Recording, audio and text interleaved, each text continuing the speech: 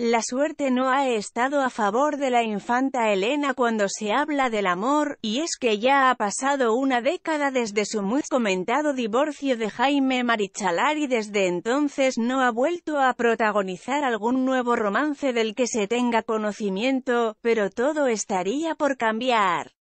Desde hace unas horas que los medios españoles se están haciendo eco de lo que podría ser el inicio de una nueva etapa en la fallida relación de la duquesa de Lugo con uno de los hombres con los que la han vinculado en más de una ocasión.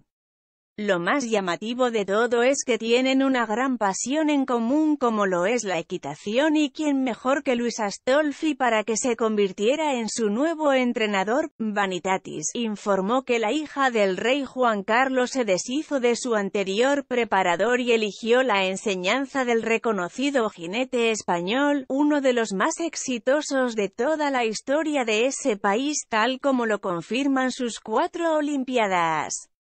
Durante la década de los 80 esta pareja vivió unos años de romance que finalmente no llegó a nada especial, pero entre ambos quedó la amistad y el cariño que ha perdurado con el paso del tiempo. Sin embargo, todavía no está dicho si finalmente Astolfi terminará siendo el entrenador de la hermana del rey Felipe, aunque se confirmó que la ha estado aconsejando recientemente, pues reanudó esa práctica deportiva. La infanta Elena es tan fanática de esta especialidad que incluso le traspasó dicho interés a Victoria Federica, quien posee una yegua que terminó siendo el centro de atención hace unas semanas atrás en todos los medios de comunicación. Presuntamente se adquirió dicho ejemplar con dinero blanqueado, o al menos así se informó en ese momento y de ahí que saliera a